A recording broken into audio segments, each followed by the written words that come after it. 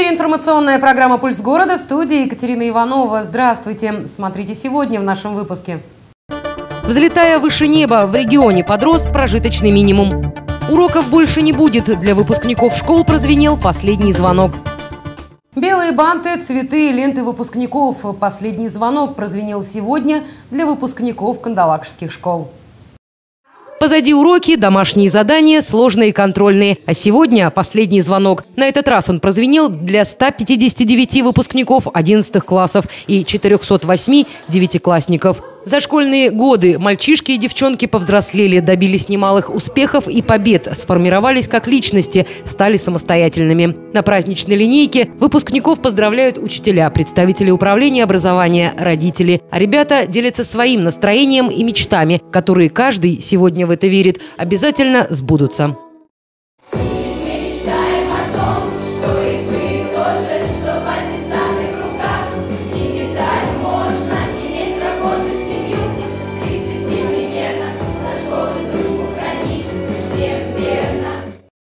Последний школьный вальс, последний звонок. Для вчерашних школьников это прощание с определенным этапом в жизни. Это символ окончания беззаботного детства.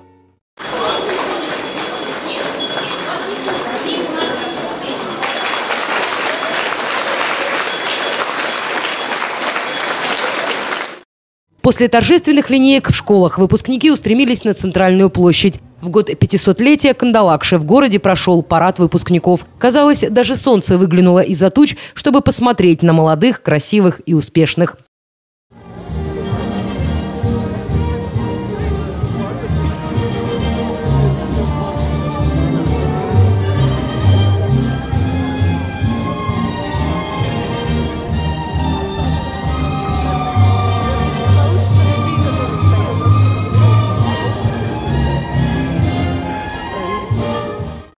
Настроение создавало буквально все. Улыбки, цветы, музыка, воздушные шары, белые фарточки на выпускницах и неизменный школьный вальс – символ прощания со школьными годами чудесными.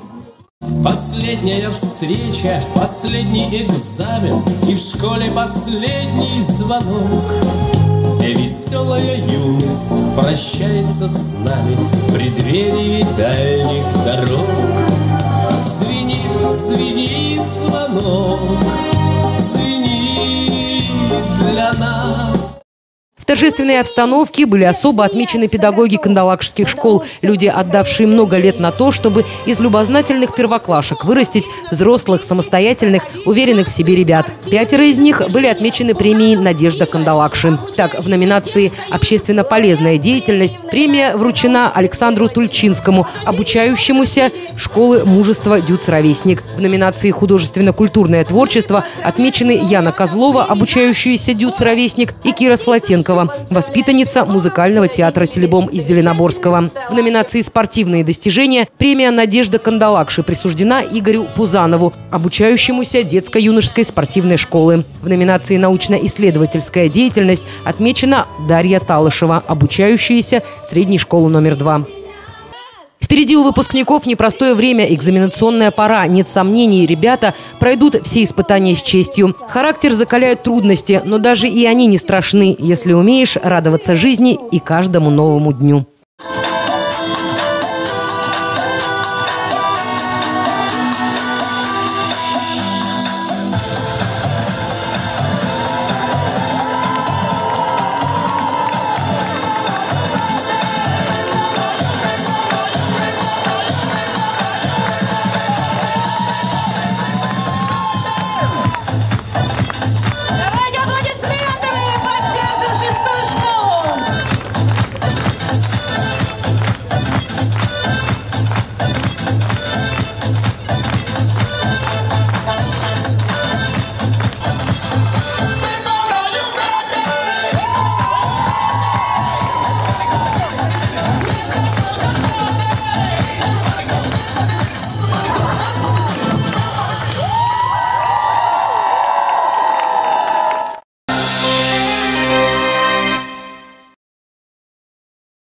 В Кандалакше продолжаются командно-штабные учения по гражданской обороне. Продлятся они несколько дней. За это время силами служб и подразделений МЧС будет отработано несколько сценариев по предотвращению чрезвычайных ситуаций.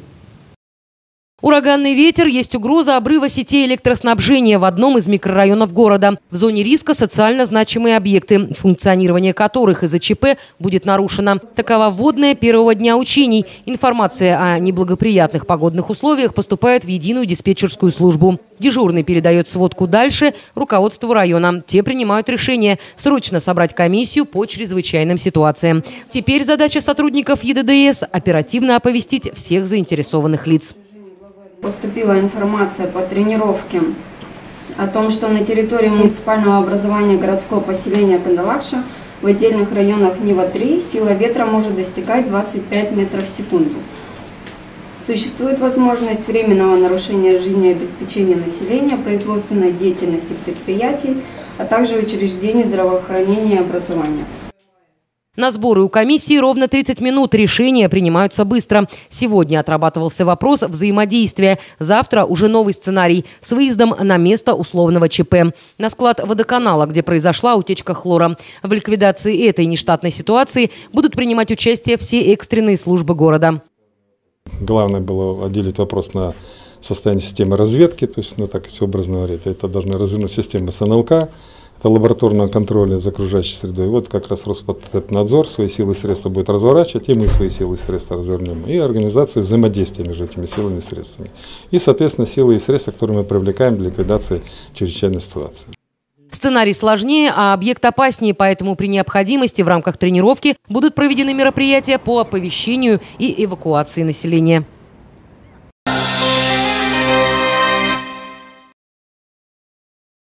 Жить станем лучше, жить станем веселее. В Заполярье установили новый размер прожиточного минимума. Минимум подрос, да еще как, более чем на 500 рублей.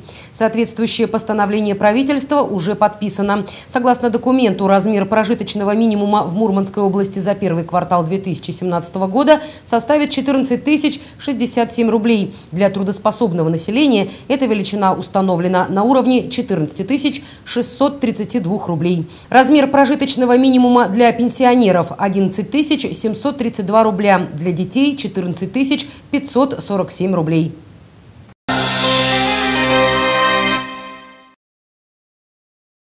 И это все, о чем мы успеваем вам рассказать сегодня. Далее вас ждет короткий блок коммерческой информации и прогноз погоды. А я с вами прощаюсь до завтра. Смотрите нас в это же время. Всего вам доброго, хорошего настроения и до встречи.